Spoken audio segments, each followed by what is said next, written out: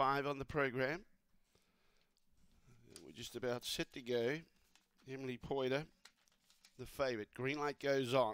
Set away. Emily Poiter began okay. Crazy Whisper wanted to get to the centre and now was matching Emily Poiter. On the inside of those was Elope to Paris, fired up behind those, and then Sally Wags. Emily Poiter joined by Crazy Whisper. Crazy Whisper going to the lead, and Crazy Whisper is going to be too good for Emily Poiter.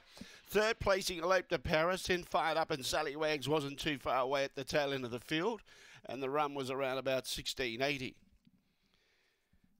Crazy Whisper gets home for the late mile followers. Strong at the finish. First look at the straight track racing. She's gone 1685. She was within scope of Emily Poiter, only a length and a half away at the worst at any stage, and she was stronger at the finish. 7814. 7814, the judges' numbers. One and a quarter by a head, the margins. One and a quarter by a head. And 1685 was the gallop. 1685. One and a quarter by a head. 7814. Not much between all of the greyhounds as they hit the line. And uh, a little bit too strong was Crazy Whisper. She's a black bitch, February 2019 by Fabregas out of Just Crazy, raced by the Basinger Group, managed by uh, Maruchik and Renata Maruchik, the winning trainer.